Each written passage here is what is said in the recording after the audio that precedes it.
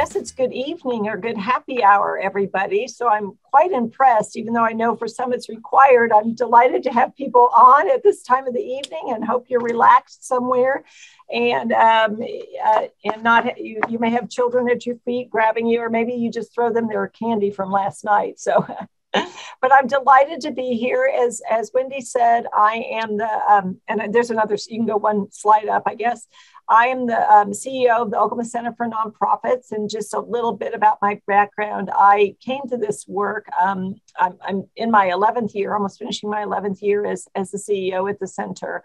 But I came to this work from all my work in the community. Like many of you, I did Leadership Oklahoma City, I did Leadership Oklahoma, I served on a lot of nonprofit boards. Um, and that I just kind of became truly, I became a board governance junkie, really. I don't, it's a kind of an embarrassing thing to admit. Um, but um, I really got involved um, from that side and was doing some consulting and, and then asked to serve on the board of the center. And my predecessor um, was tapped about a dozen years ago to head our United Way. Like you have a female head of your United Way, and Allison, we have Debbie Hampton over here. So Debbie shifted over to the um, to be the CEO of our United Way of Central Oklahoma, and I was a board member of the center and was um, um, asked to consider the position, and here I am. So I'm delighted. I live and breathe everything nonprofit sector, and I know if I had time, I'd love to get an introduction of each of you and know what you're, where you are, and who you are, and why you're, you know are excited to be. I'm sure in, involved in leadership Tulsa, but also um, your interest in the nonprofit sector, but it doesn't allow for that much time. So at the end, you will see my contact information, and I'm uh, readily available and love to talk and answer any questions you might have. So that's just a little bit about me and um, and the sector. I do want to mention though that besides that, I do serve, as Wendy said, uh, at the national level. I am the um, current board chair and will be. It's a two-year stint to be the board chair of the National Council for Nonprofits. So the center um, if you aren't familiar with, is, is really like the Chamber of Commerce or the association of all the nonprofits in the state of Oklahoma. And about 45 other states have such an entity. Many of them are called like the Louisiana Association of Nonprofits or the Pennsylvania Association of Nonprofits Foraker in Alaska. It's called Foraker because they named it after a mountain. So you can name it whatever you want. But basically, we are membership organizations of nonprofits within our state, within our states, and then we uh, then convene at the national level through the National Council of Nonprofits, which uh, does a ton of advocacy work for our sector at the federal level and hooks and networks us all together. So, so that's me, and um, I really love Q and A. And Wendy, we didn't really talk about that. Do people put stuff in the chat, or what? What do you like on these, or is it yeah, so sometimes I actually interrupt you and do a little chit chat. Um, people are welcome to put something in the chat when I'm actually sharing my screen. Sometimes I don't see it immediately, uh, but then certainly anytime we have at the end, we can do Q and A. Okay, perfect. Because I really want to meet your needs and and have you ask me what you would ask me about. So. Um, but I will I will forge through and just obviously, uh, you know, we have a lot of nonprofits in Oklahoma, and we'll um, we'll see some of the numbers about those um, here in a minute. But you know what? We always laugh. There's a nonprofit for that. I mean, there is a nonprofit for everything. And just when I think I've heard about every possible mission in the whole world will get a call at the center for somebody who wants to do something. And I get asked a lot, like, can't you kind of slow them down? Can't you kind of merge them? Can't you kind of make, and you know, that's not really what I'm in the business to do. I'm there to support the missions of every nonprofit in Oklahoma, uh, wherever they are. Now, certainly if someone calls the center and says, hey, I have this great idea and I want to start this and so nonprofit, um, the first thing I ask them is, are you ready to really open a business? I mean, do you understand what you're talking about? You have to have a board, you have to have financial statements, you have to, you know, register with the state, you have to, you know, do a 990. And, you know, so I explain that. And then the other thing we really do is say, hey, that sounds like a great idea, but why don't you call, you know, NSO, neighborhood services, because they do some things like that. And maybe you could, you know, um, talk to Stacy and you could talk about your idea. So again, I, you know, if someone comes to us and wants to merge or acquire, we can certainly work with them. But in, in, in reality, we're really here to support all these great missions. And, um, you know, I, I think of some of the names of nonprofits and, and, um, and you know i think of el sistema here. It's a, it's a youth orchestra here in oklahoma city. You know it's not even that old. And if someone had, had said oh don't don't form because there's already a youth orchestra they they meet a different population. So sometimes it's some of the newer ones are really the ones that are meeting the need exactly where it is at the moment. So so as you say we have a nonprofit for everything in oklahoma. So next slide so let's uh, let's talk about you know why we need nonprofits in Oklahoma, and we are really if you just clip through these, they'll pop on Wendy. But really, Oklahoma, as you know, is a very very high need state. And while we're no longer first in overall incarceration in Oklahoma, we're still first in female incarceration. We have you know a very high uh, level or population of people who live in poverty, a very high level of people who live with disabilities, and a very long list of for wait for services for disabilities. Our health outcomes are bad. Our education outcomes are bad. So we really, you know, we could spend an hour, all of us opening up and just talking about why we think it's like this, but it is like this. And you know, we are a low tax state, and um, you know, we we have we we we have a um, and we and, and we and we tend to want to stay that way. And so, even though we do get um, have good partnerships, many nonprofits, and you'll see with our our state government through grants and opportunities. We still have a whole lot to work on in Oklahoma. And I think COVID is really showing, and we'll talk about some of that as well, that we were we were the go-to place for the people in need during COVID. So so they we are we have a lot of them, but they need us.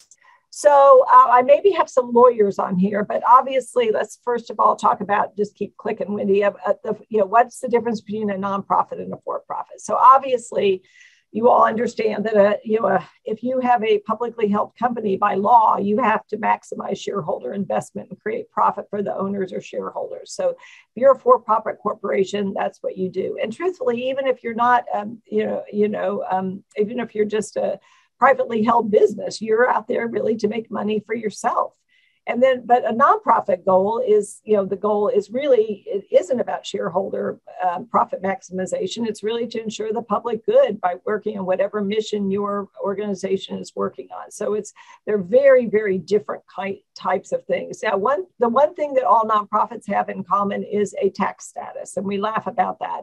Um, you know, other than that, and, and some of the rules around transparency, the things that nonprofits have to do, uh, nonprofits really share a tax status, but they have so many missions as we've already talked about. So there, uh, um, I think if you hit this one more time, Wendy, it's going to talk about a new kind of corporation that um, we worked on this legislation. We didn't we didn't author this legislation, but about two years ago, and it, maybe it's three now because of my COVID brain. Um, benefit corporations or B Corps were formed in Oklahoma. So they really are they are kind of a hybrid. They are not a nonprofit. You can't give a donation to a b corp and get a tax write-off but they do have an opportunity to be motivated by something other than profits. And say they were very common in other states and oklahoma did not have them. So a couple of years ago um, um, there was an effort to get those into law and they do exist. So you can you can have an incorporated business now in oklahoma that isn't solely run on a um, a desire to maximize shareholder investment, it also can have a, a, kind of what we would almost call a philanthropic purpose to it as well. So the nonprofit world is huge. So these are the new numbers or the most recent numbers about how big it is in the United States. So you can see, you know, 1.5 million uh, nonprofit exempt organizations. Sometimes we're called EOs, exempt organizations in the country. And you can see um, there's all kinds of ways, shapes, and forms. You know, there's there's charities, which is what most people think of, but what you have to know, 501c3s, private foundations are also 501c3s, and there's over 100,000 private foundations in the country. Then there's all kinds of other, uh, you know, not chambers of commerce, civics leagues, membership organizations, and then um, congregations. So there are, as we know in Oklahoma, we have a lot of churches, and there are a lot of churches nationwide. So again, tons of assets. I mean, trillions of assets and trillions of resources in in um, in our sector.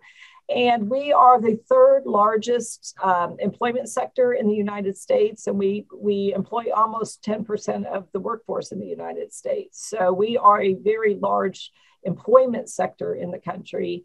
And as you see, the you know, as you know, we always, if, if, any of you are with organizations that use volunteers, you, you know, you take how many volunteers and multiply it by that. I don't even know what the current number is for a volunteer hour. It's like $26 an hour. And we have billions of dollars worth of volunteer um, service hours that are given to our sector every, every year in the country. I'm actually surprised there's not more than 312,000 congregations. It seems like there's 312,000 congregations in Oklahoma yeah, my guess is on that, Wendy, is that like you know Methodist would be one.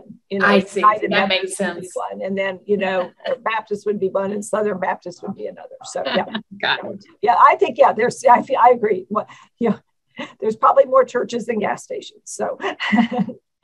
okay, so let's talk a little bit about Oklahoma um, in the next slide and how big um, how big we are. And we do update this with um, IRS data every year. But um, so as of last December, and we'll update these again at the end of this year, there's over 20,000 tax exempt organizations in the state of Oklahoma. So uh, next to that, you can see the breakdown. So, um, how many are public charities? And as you can see, 11,000 public charities, but we have excluded churches and private foundations. And then you see there's all 12, over 1,200 private foundations in Oklahoma. Then there's other nonprofits, the chambers, and so on, and 3,659 churches.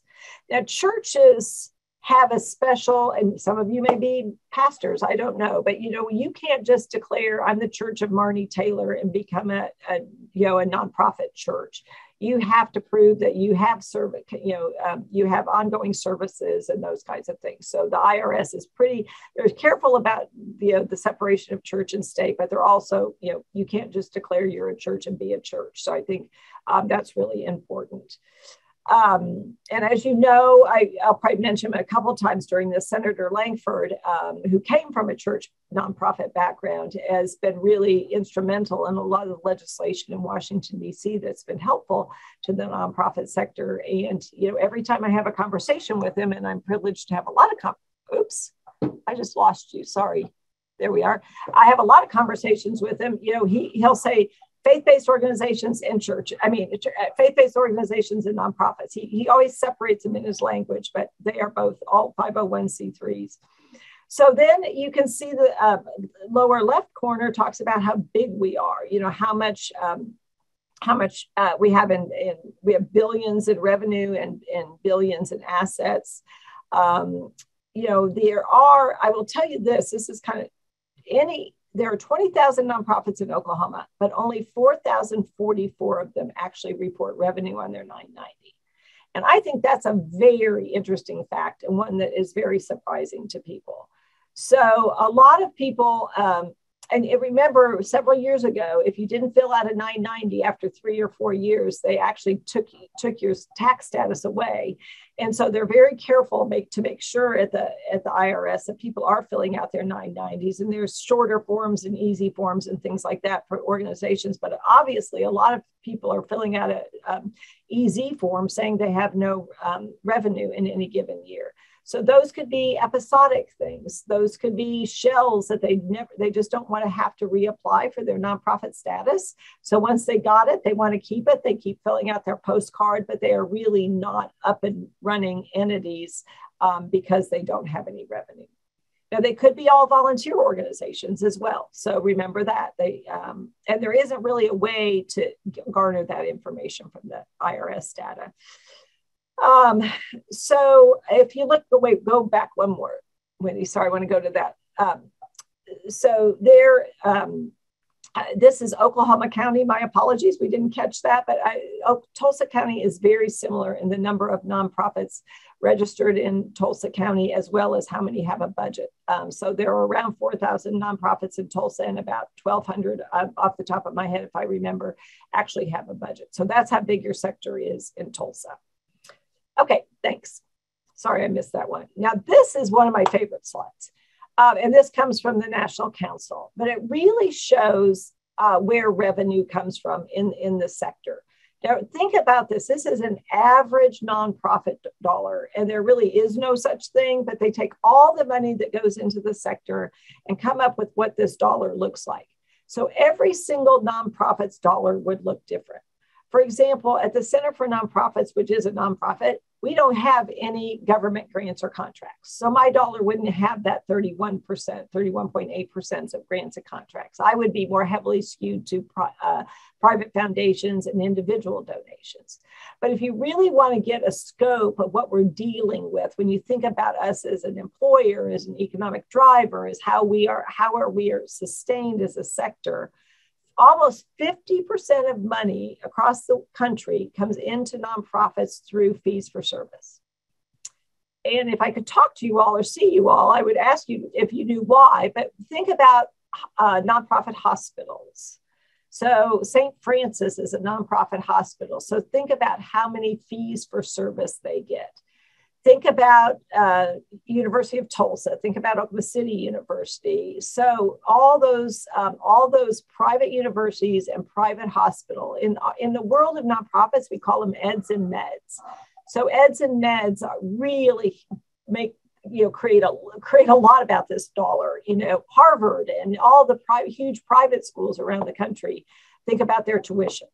So almost 50% of money that goes into our sector is earned then almost 32% is earned through government contracts or grants. So a lot, we are very, very, very in, intertwined and in partnership with government. And I think that we saw that a lot during um, COVID and, and are con- going to continue to see it during the um, ARPA funding. So then the next one, I, this is where people get a little bit surprised. You know, then they're individuals um, and then private foundations, bequests, corporations and other and other could be interest income or you know endowment income or those kinds of things.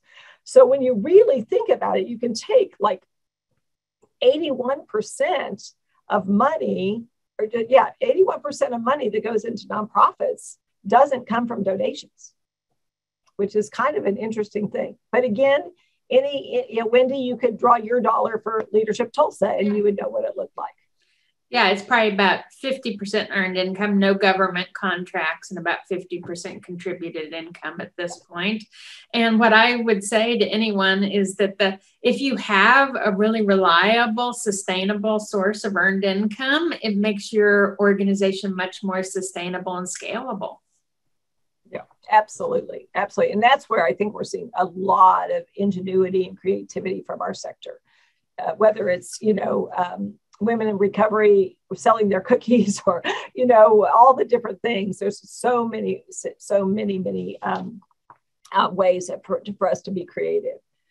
So let's go let's talk about the philanthropic dollars. So uh, um, yeah this is those fancy things. Um, so the philanthropic dollars many of you probably seen this. I know wendy probably has but for those of us in, in the world of fundraising this is a, probably the most important study that comes out every year and so these are the 2019 numbers. It's called Giving USA, and pretty soon, you know, the next one will be the 2020 numbers. There's certainly a lag in, in the information. But consistently, don't worry too much about the graph on the left. It's a little more complicated than we need to talk about. But first of all, look, $449 billion was given in 2019. So if you think about that, there's 365 days in the year. It's more than a billion dollars a day is being donated to the nonprofit sector. So I think that's really amazing. And then you look at the at the uh, pie chart. You know, almost 70% of that is from people, from individual people. So, um, you know, I think if you serve on a board and you're thinking, oh, we got to go after this grant and we have to go after grant grant, I'm not going to say don't, but just know there are a lot of nonprofits that are very sustained through individual gifts and, and never forget about bequests at 10% of revenue. You know, planned giving um, is a is a hot topic. I know Tulsa has a lot of good effort put uh, into many organizations around planned gifts, and we certainly encourage that as well. So again, national, you know, if, if you took if wendy took her philanthropic donations and i took mine ours would look different. You know i'm heavier on corporations and foundations. Um, but when you see the next chart if we go to that you're going to see why. Because remember those churches? Well guess what? So all those individuals are giving a lot of money to churches and to education So, you know, if you ask people um, where they give their money, um, you know, especially in Oklahoma, you know, um, their religious affiliation and then their educational institution, their kids' school, whatever, um, you know, always end up at number one and number two. And then after that, you know, um, um, sorry, that shouldn't say human resources, that should say human services. Human services are next. So all the, you know, the United Way agencies, all the, and there's many great human service organizations that are not affiliated with United Ways, but those are what you kind of think of. And then, you know, arts and culture, as you can see, is um, significant. I think if we did this for Oklahoma City or Tulsa, we'd probably even see a greater amount um, in um, in arts and culture because we both both towns both cities have really strong um, arts arts organizations and and thrive off of them. So that's again national studies about giving. So let's see what happened to giving during covid. So giving tuesday is not only is it a day it's an organization. So I, everybody probably knows that giving tuesday is the day after the tuesday after thanksgiving. And um, good story about that, how that came to be, but it came to be and it's been very successful. But they started doing some research about giving as well. And I think that this is interesting. This is year over year data. So anything that's uh, that's below the zero uh, mark means that the, the um, that the giving dipped. And this was only um, through through 2020, as you can see. But it's a pretty good look, and and everything that I've read um, across the country really about what happened to giving during the pandemic. This really proves it out. As you can see, these colored lines are all the sizes of gifts. So that top purple or bluish purple line is gifts of over $50,000 or more. And then the turquoise is a dollar to a $100. So you can see um, the trends, the people, you know, originally the large gifts at the beginning of January of 20 were um, up 15% year over year. Then, as the pandemic came, they dipped a bit. They never went below the year over year, but they dipped a bit. Then they went back up, and then they and then they kind of evened out. So the the you know everything that has been really documented, and and some of it's you know they're now being able to get enough facts around it but is that large nonprofits who had large donors seem to withstand the pandemic very, very well. And this graph plays that out. If you are a smaller organization, look at that little poor little green line down there, which are gifts between $500 and $5,000, which might be, you know, where some of us are in our giving. Um, you know, it, it was, it started the year, you know, um, above 5% above where it was the year before. And then look what happened. So these are people who didn't know whether they were still going to have their jobs. Um, you know, and um, some of these people, you know, used to give, and now they were receivers of um, of um, services rather than donors to the organizations that were giving. So I think this is a really interesting graph to see, and I my guess is that they'll, you know, do this again at the end of um, of 21 and show us what happened. But um, you know, a lot of you know a lot of smaller organizations, unless they were directly you know in line to help victims of COVID or, or you know essential services that people just came to the rally um, and were depending on smaller donors, um, did have a hard time you know, I have a great example with the very largest donors. We had a couple of grants that were um, supposed to be looked at in March, of 2020 they got put on hold because nobody knew exactly what was going to happen. But the foundations picked them back up in june and we ultimately got the grants uh, that we had been hoping for. And um, so I, that kind of plays out this story that people contracted immediately trying to figure out what was happening and then went ahead. Um, we also have a question from adrian how are large donations tied to the overall financial markets endowment surplus over expectation? So as the um, i guess as the stock market rises and falls do you know how that impacts large donations? Yes um, i mean I, that's a great question and i think some of the skitty, skittishness about the market is reflected in these early dips as well from the very wealthy people who are probably you know people give out give two ways they give out of their uh, their uh, out of their cash flow like you write the check, you put it on your credit card or whatever, you get it out of your cash flow. So it's instead of buying this, you're buying, you're donating to that, or they give out of their wealth. And you know, wealthier people tend to give out of their wealth. They make stock gifts or uh, gifts out of their IRA. So as they were watching the stock market, um, they a their corpuses of, of some of their um, if they had private foundations or donor advised funds where things were invested might be going down, or just they were going to give stock gifts out of their regular own personal accounts. Um, so that I think that reflects that a lot. I mean, I you know I think we're all scared to death. Whoever imagined the market was going to do what it's doing? Um, so I think there's going to be you know I will in a few years retire and I will sit home and just study what happened during, during the whole thing when it's said and done. But go to the next slide. I think this is very interesting. This is about organizations that stopped fundraising in 2020. And this is really fascinating. I mean, look at that. In 2019, organizations that you know, uh, were not fundraising, um, you know, really kind of stayed steady. But in 2020, it went up. And interestingly enough, I talked to some foundations that said, we're just shocked. I mean, early in COVID, they're like, we're not getting, we got far less requests, um, grant requests during this cycle. Is, you know, most of them have cycles, like it's, you know, grants are due on a certain day. They'd say, we're just shocked we're getting less. And I, I haven't had a lot of time to study or read about why that might have happened. Um, some of it is, you know, we were all shell shocked. We didn't even know where our staff was. Were they coming or going? Could they still work for us? Were their kids out of school? You know, all of that. D- did we have the capacity? I do think a little of this could be in Oklahoma. This would probably be reflected in the fact that some of us couldn't have our non our uh, events.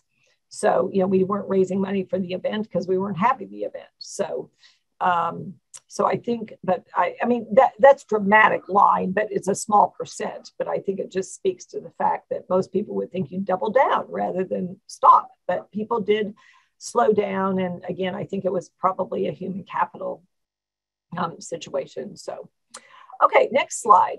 Um, so this is some data that some of it's our survey data and some of it's um, other data we've gotten, but the bottom line about PPP loans is in. So 3,846 nonprofits received PPP loans, hopefully, some of the ones that you all might be affiliated with, for almost a half a billion dollars.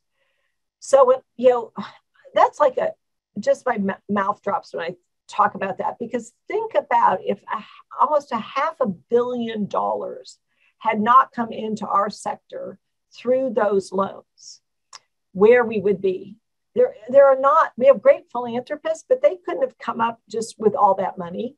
You know, um, it, it was a significant shift. You know, nonprofits had not been included in SBA loans prior to PPP loans. And I will say you have, you know, the National Council for Nonprofits and the groups, the you know, National United Way and all of those strong national affiliates worked their hardest, as did our own Senator Langford, because of his in, you know interest and, passion for our uh, nonprofits to get us included. Because we could have easily been cut from the bill and um, not um, been allowed to apply for PPP loans. So those were a lifesaver um, because just, you know, 56% said they got lower grant money in Oklahoma, 43%, these are our, from our surveys, 43% had low, lower confidence in their res- revenue. Um, and then nationally, initially, nonprofit job loss was big. John Hop- Johns Hopkins did a study on this, and they're they did it monthly in the beginning. They've kind of slowed down. We're getting about every three months, but more than a million jobs were lost in our sector. Uh, about half of those have been recovered, but I would say that really probably, you know, a half of the million that were originally lost were lost in, in the arts. Um, not to be surprised because, as you know, performances just shut down and people just laid off their. I mean, you know, some arts organizations kept a creative director, and executive director, and everybody else lost their job. So the arts just took a beating, and the artists, therefore, took a beating. So we have the numbers are back. We're, we're, we're just shy of, uh, of 500,000 job, jobs lost currently. Um, but and arts are coming back at a faster pace, but they're still still one of the biggest losers, unfortunately. So let's talk about um, this is okay. Candid is another national organization that measures giving, and they too decided to do a survey. But I thought this was interesting. Um, what happened nationally uh, in philanthropy's, philanthropy's response to COVID. So you can see in January, since January of 2020, and this came out, I think at the end of last year, there were 32,500 grants um, given um, by private foundations, and the total of the grants was 13.3 billion, and the numbers and so on. But if you think about that, that's a lot of money. But if you go back to the last slide and you think the whole value of those grants was 13.3 billion, and think about I you know what I don't have in this presentation. I need to find out what was the total amount of PPP uh, across the country. But in Oklahoma alone, it was half a billion dollars. So, so philanthropy stepped up in a huge way. We can all be very grateful. And, and some of you may be involved with those organizations or philanthropists yourself. But when you think about it, the fact that we did have that assistance from the government, um, it really did save our sector. So, okay, so let's talk about what, what else happened. Again, this is our, our from our survey data. Um, 22% of nonprofits in Oklahoma City said they eliminated at least one position.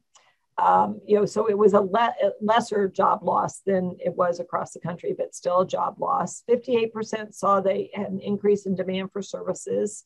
Um, think about all the people who needed help, mental health, help with children, help with feeding their families.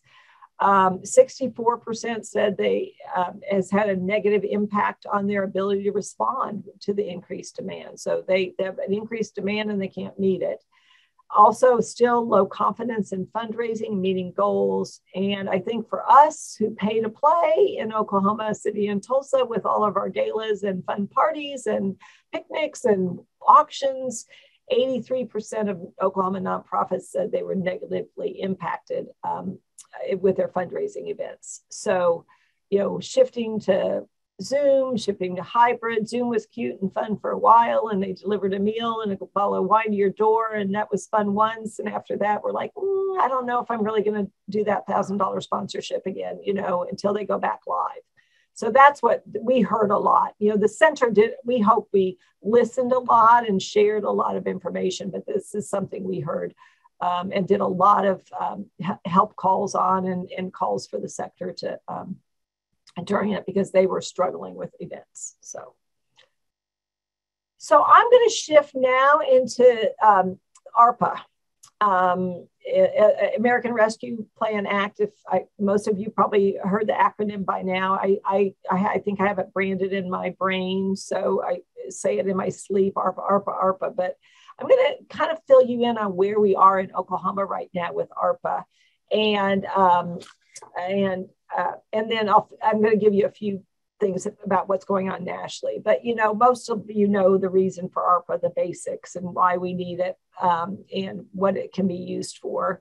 And that's that's very strict. Just like with the CARES money, you know, we could any organization that receives ARPA funds, you know, will be a, could can get audited. Probably will get audited. We'll see. They may do a safe harbor uh, amount like they did with PPP, but it's you know it can't just be used for anything. So in Oklahoma, we got $3.2 billion almost, next slide, um, in total ARPA funding. But what I want to tell you, this is what is, um, this does not include what the tribes got, which is a whole lot. This does not include also what went directly to like the Department of Agriculture or the Department of Education or certain DHS programs. So this is really just the money that is now up for grabs um, through the government entities. So of that 3.19, uh, 1.87 is in the legislative committee allocation. And uh, you probably heard some about this. Um, you know, I started hearing about it in um, midsummer and the committee started being formed and meeting. So so there is a legislative committee. Then there are um, what are called NEUs, and those are non-entitlement units. That 237 million is going to organize, or excuse me, cities or towns that have a population of less than 50,000. And then uh, the counties are getting a lot of money, as you can see. I'm sure you've heard some about the Tulsa County money. And then the 10 largest metro areas are getting 300 million. So Oklahoma City is getting their own money. Tulsa's getting their own money. And then the other eight other larger uh, cities are getting their own money. And I will just tell you, there is no buddy who's doing it the same, you know, and, they all had some CARES money. They probably learned some lessons, did it one way, maybe are replicating some of what they're doing in Oklahoma County. We have a huge jail problem. And the rumor is our money is all going to go to the jail, but who knows? So, um, um, so that's the way the money is being distributed. Some of the Oklahoma City has kind of already told the, the city council how they would like to distribute their money but the state money still has um, a lot of opportunities. So I thought I'd share that with you, and some of you may be ARPA experts. Um, I uh, so uh, or you may have a lot of questions. I don't know, and this is going to be, if you want to go to the next slide, kind of a, a high um, high overview. So first of all, this looks way more like an appropriations process than anything else. And if, if you're familiar with that, it's you know it's legislators determining what the, where the money is going to go.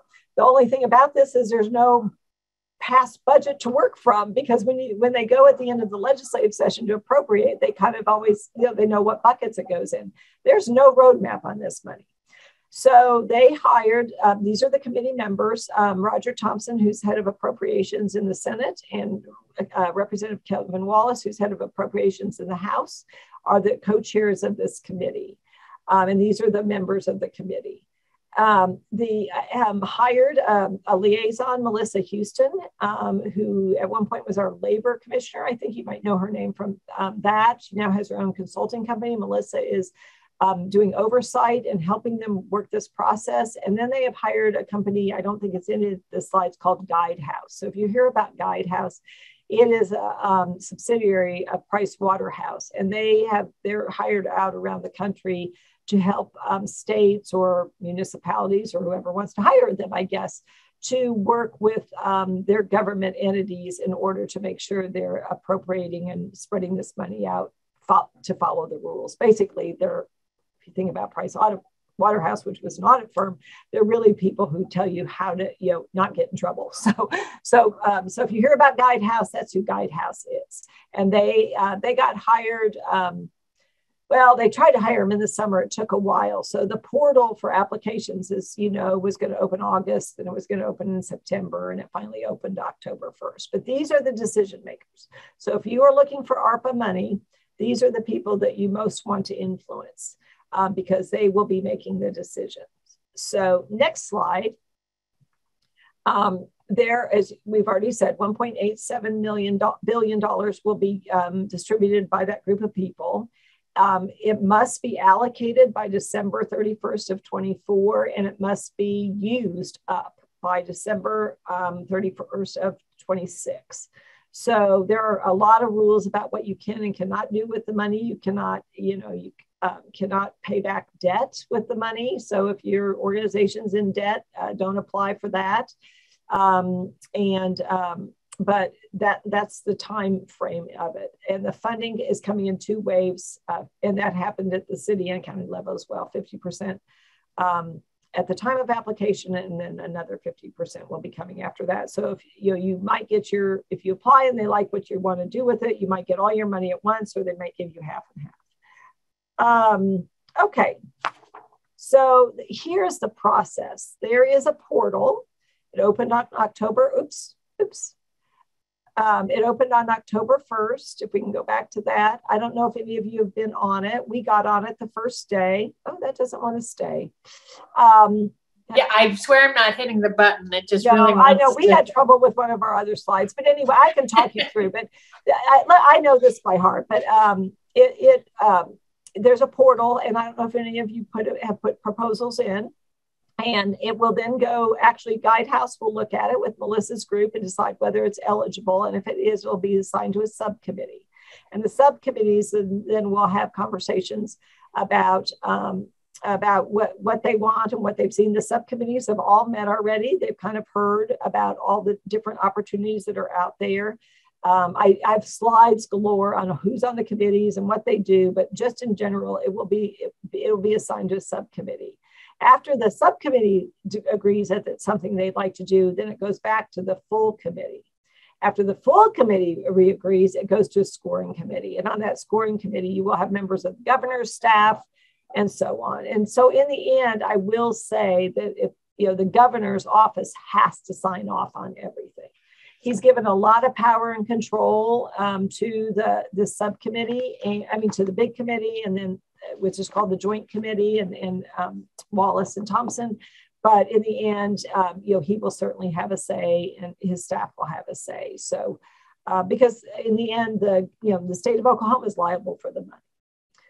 So that's really how it works. So just a little bit about engaging in policy and and, and lobbying. I, I think that I if I haven't convinced you enough that if we hadn't lobbied for PPP loans, we'd be at almost a half a billion dollars in this state. So really important. So do know that nonprofits can lobby. I hope you all know that. I think Lauren's going to talk about it. It can be education, it can be advocacy, or it can really be lobbying, you know, specifically for a bill. And also, um, even though I've mentioned someone, a senator's name on this, I'm not endorsing him. I'm just telling you about his involvement with this sector. But you know, nonprofits cannot endorse political candidates, and I would just Lauren will talk more about that when she presents. But as we are entering campaign season, and we are there. It's a year away, um, and everybody's declaring, and you know, sides are being taken.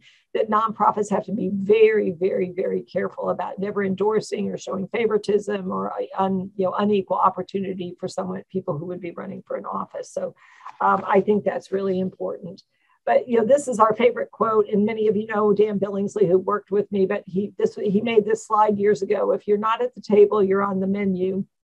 And then we had a wonderful employee here who was a seasoned woman who said, however, for the next slide, she said this was what Shirley Chisholm said. If you don't, if they don't give you a seat at the table, you can always bring your folding chair. So um, I think um, there are many people, not just nonprofits, there's populations of people, there's genders of people, there's all kinds of people who've had to bring a folding chair.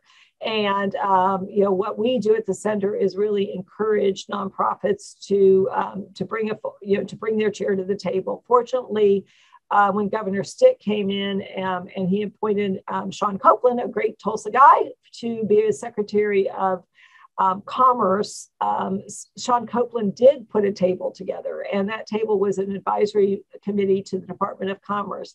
And for the first time in the history of Oklahoma, the nonprofit sector was invited to the table. So I was one of 10 advisors to the Department of Commerce under Secretary Kouplen for two years. And from that, we have actually engaged a nonprofit council that doesn't report to the center, it reports up through commerce and it meets quarterly just to keep the whole sector connected. Because as you saw earlier, we're huge employers, we're huge economic drivers. So not only does you know Justin Brown at DHS want to know what we're doing, and all health department want to know what we're doing, the Department of Commerce really um, you know engages us and cares about us as a business sector. So um, I think there's another slide. Um, I, I got back in town Sunday, so I apologize. A couple of these slides I didn't have it um, a couple to make a couple tweaks on, but you know, here's here's really uh, you all who are, are leaders in Tulsa. Many of you very seasoned leaders in Tulsa, but obviously you know that way there's so many ways to get involved. You know, from volunteering to donating, which you've heard about serving on boards of directors, which you all are getting prepared to do and being trained to do, but also just know that advocating, you know, even if you're not on the board of an organization, but you really believe in what they're doing and you hear that there's a bill in the legislature or at the federal level about what that organization is, it is so impactful when a volunteer or a board member or an advisory board member um, calls a legislator, meets with them to advocate on behalf of a mission. It just it is it is huge. And Lauren will speak more to that, but it's interesting how few phone calls they often get on some issues. And just a phone call or an email from um, someone, and especially a constituent, can really, really make a difference.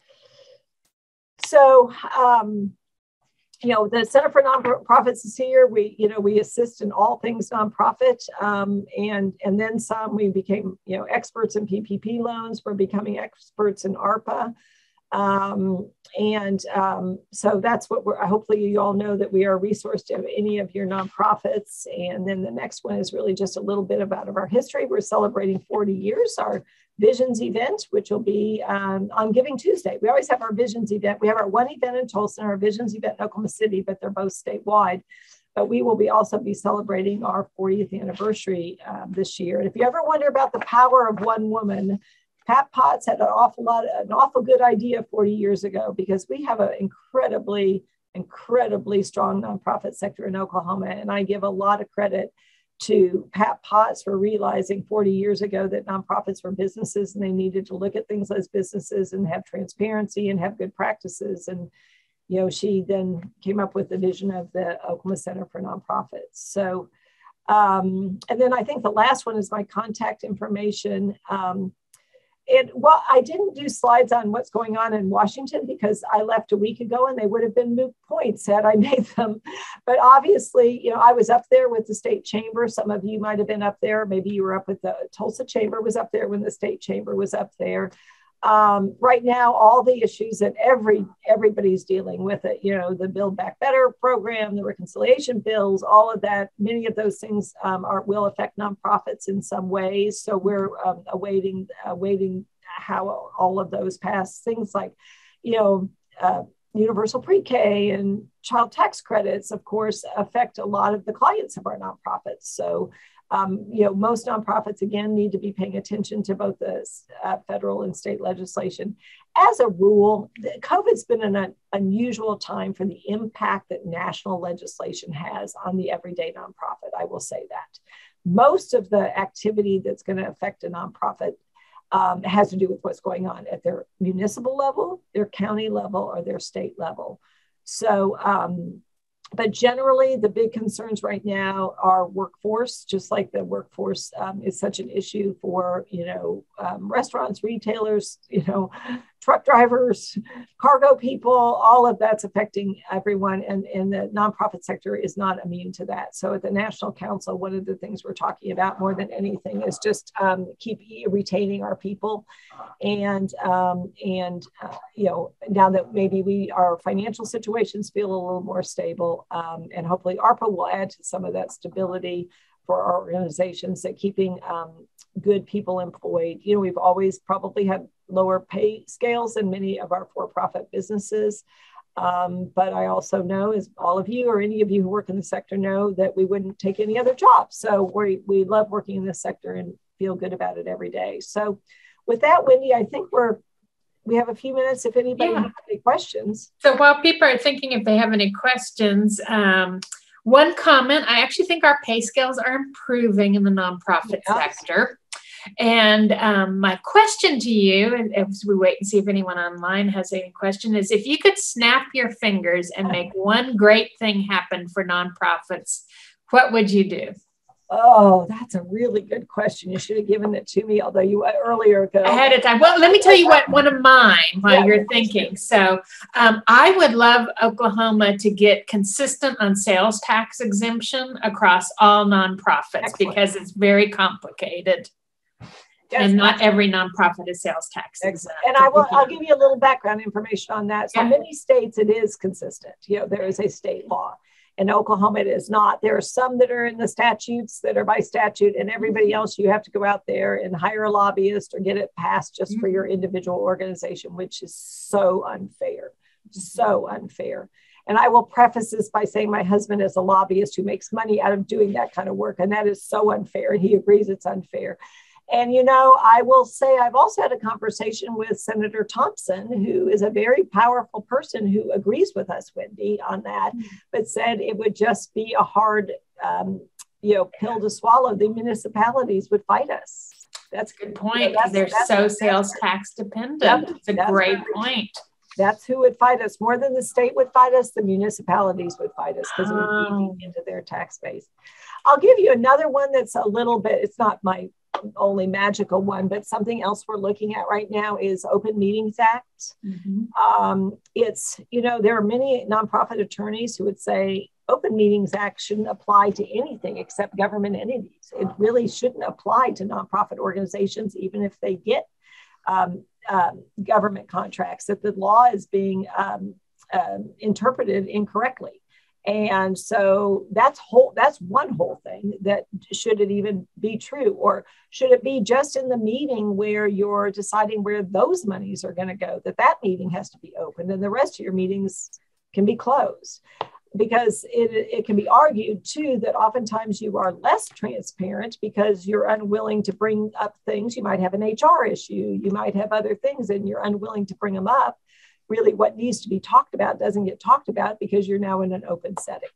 So, and the other problem we had with them, a huge problem we had with them, is many of your corporations, who many of you might work for, didn't allow their people to go to meetings. And so once the, you know, they put a temporary stop in there where open meetings could be on Zoom. And actually, even the press loved it because they could be in more places at more times. Yeah. They had more accessibility. They didn't have to go places. Mm-hmm. But uh, when that ended, it ended about two months earlier than it should have before the legislature was going to go back in session and could switch it. We had boards unable to make quorum. Yeah. They couldn't make quorum because their corporate employees weren't allowed to show up in person. Hmm. So, where the center is uh, looking at um, trying to correct that um, uh, this time. But you know, one of the things that would for me just be a magic wand is that everyone really understood about the power of advocacy the power of being in relationship with their legislature, and um, and would um, really take advantage of it, embrace it, and get trained in it, and not be afraid of it. And because um, it's so so important. Because with the strike of a pen, okay, I'll tell you a real funny story uh, at our Visions Awards, our Curbside Chronicle, which is our homeless newspaper, is getting one of our, uh, our honors this year. They're just an amazing couple that started our newspaper. But they also have a flower shop and, and they also sell snow cones. Well, when I met with them to surprise them with the fact they were getting our Visions Awards, they said, actually, we're on our way to the Capitol. There's actually a law in Oklahoma that says you can only sell snow cones six months out of the year. Now, who would have thought? Why would anyone have a law that says you can only sell snow cones six months out of the year? But they wanted to sell snow cones all year. So they were going to have to go lobby some stupid law in Oklahoma. So I think it's just, it was a great example for me that, you know, you never know when a stroke of a pen can put you in business or take you out of business. So that's crazy. Yeah. And that's a great um, uh, advertisement too for our December 6th program on advocacy. So good job uh, doing the, um, the advertisement there. Just a quick pause. If anyone has a question for Marnie, uh, please unmute yourself and let us know or stick it in the chat thread.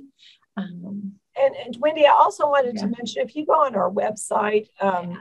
That we do, we used to do weekly calls on every Wednesday at 10 a.m. Uh, and they were all COVID related. And gosh, we, we had enough to talk about that every week we had an hour with a great speaker or conversation about something when COVID slowed down, we we turned those to monthly, and our so our it's the first Wednesday of every month at 10 o'clock. You don't have to be a member, you don't even have to work for a nonprofit or be on a board. You can just come listen. And Melissa Houston is our speaker on Wednesday. So we are going to be hearing from the person who's really in the middle of all these applications and how it's going and how many applications and all that. I ran into her. Uh, your mayor was over today. We had our, our state of the city, and our mayor had your mayor. So he's they he gave a nice shout out to GT.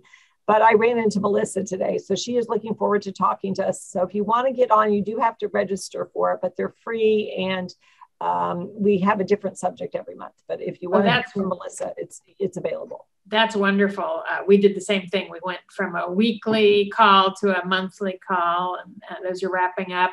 I'm not seeing any questions, Marnie, so I know you have another event to get to. That uh, third shift that so many of us in the nonprofits work as we go um, and uh, keep our social capital sharp. And so, hi, say hi to Melody for us. And uh, thank you for being here with us. We will send this recording out to everyone who's registered for our series.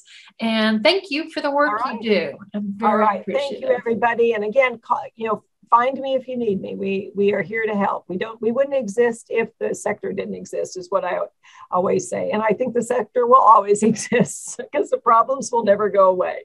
So thank you all. Have a great evening. Good evening. Thanks, everyone.